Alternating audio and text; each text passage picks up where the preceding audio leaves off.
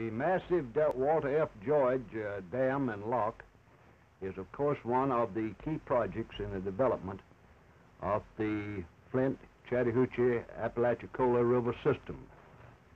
It is uh, the culmination of a great deal of effort, and all of us look forward to the completion of this project with great interest and pride.